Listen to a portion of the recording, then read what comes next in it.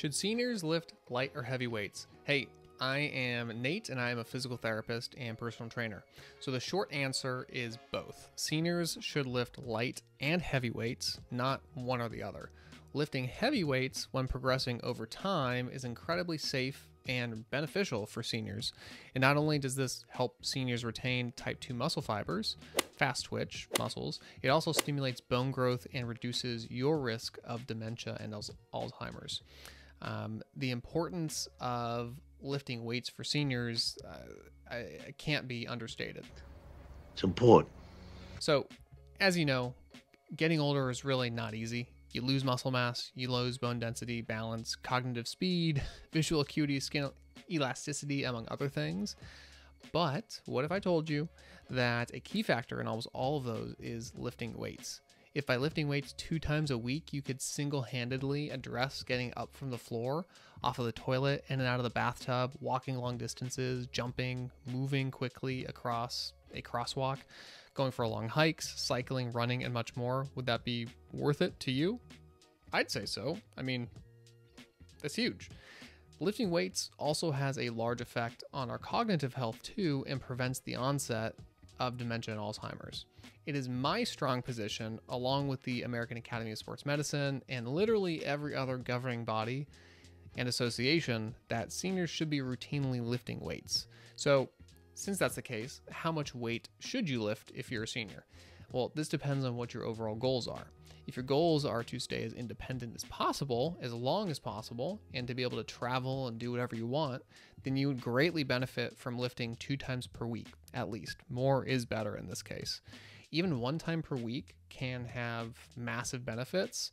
Um, if two times a week sounds like too much. In terms of the poundage or kilos that you should lift, this is going to depend on your experience level. I'll give you an example from a strong 65 class that I've run. That's a strength training class for people 65 and older that I used to run. When my clients first started out, most of them were shoulder pressing and bicep curling five pounds or less. A year later, most of them were able to bicep curl and shoulder press at least 12 pounds in each arm. And I have one client who's 70 and is able to shoulder press 15 pounds. Um, she tried out 20 pounders as well. There really is a disconnect between how much people think they sh- could should be lifting with how much they could be lifting. And by the way, I had three women in that class who were shoulder pressing 12 pounds for 10 reps. Wow, wow, wow, wow, wow, wow. They were able to accomplish this over the course of a year and when we finished that, they were still moving forward. Um, they were getting stronger as they were getting older, which is great. And these were not women who were athletes or who had been lifting their whole life. They literally just started and had had no prior experience lifting weights. So I just want to make it very clear this is possible for anyone. Even you. Each of these women also had some orthopedic issues before, whether it was shoulder pain, knee pain, back pain. They were all able to recover from that and start lifting weights. So, how much weight should a 65 year old man and a 70 year old man or woman lift? Um, age really has nothing to do with how much you should lift, actually. So, your focus should be on starting with light weights with the focus of learning how to do the movements properly.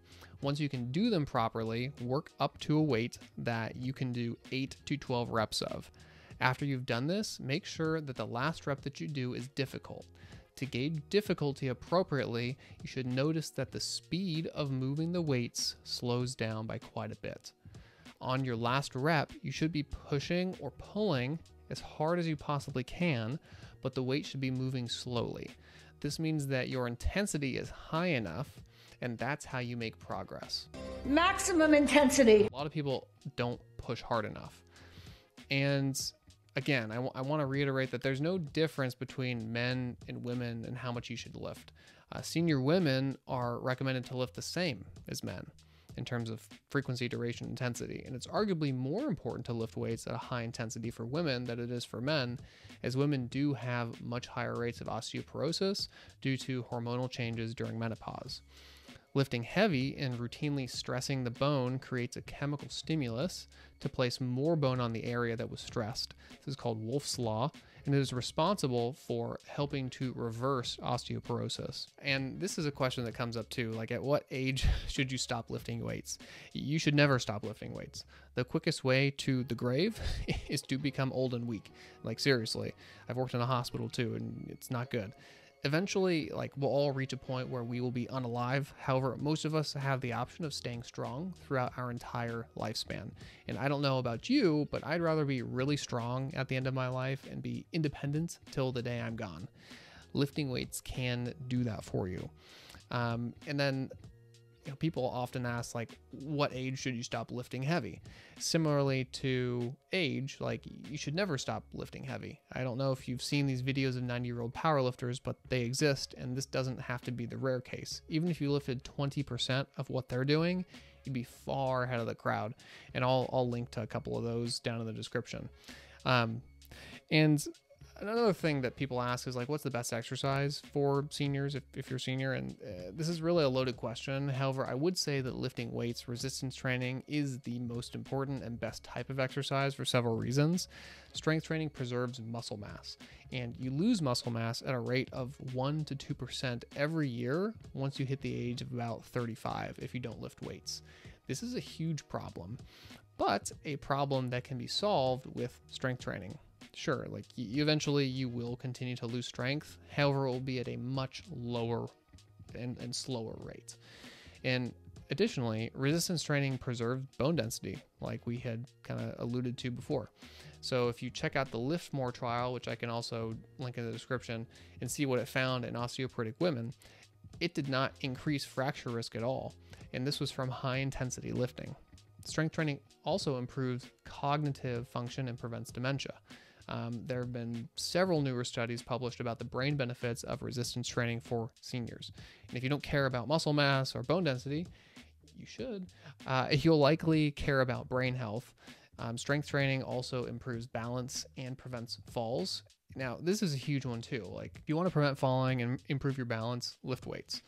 It can literally be that simple. Um, now, of course, there are other things you should be working on, like single leg balance, reactive balance, and agility.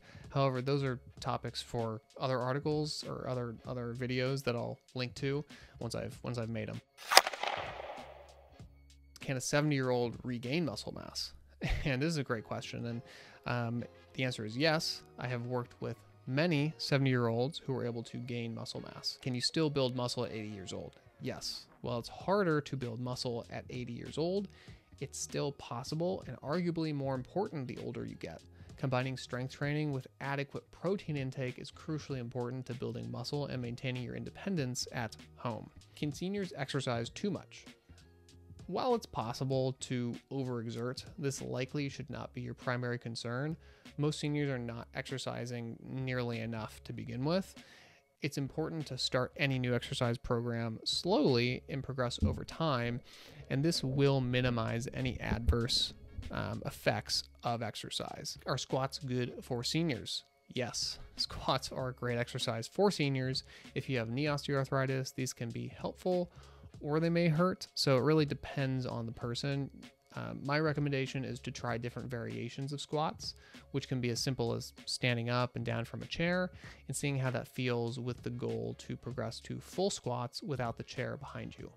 There's nothing inherently wrong with squats, and they are important to uh, strengthen the quads, the front of the thigh muscles.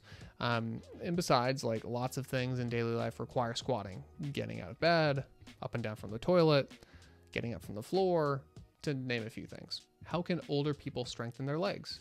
Squats, deadlifts, leg uh, lunges, leg press, knee extensions, hamstring curls, and many more are great exercises to use to strengthen your legs. I'll likely need to make a bunch of videos um, and just uh, post that of different leg strengthening exercises for seniors. Um, but hope this was helpful. Take care. Have a great day.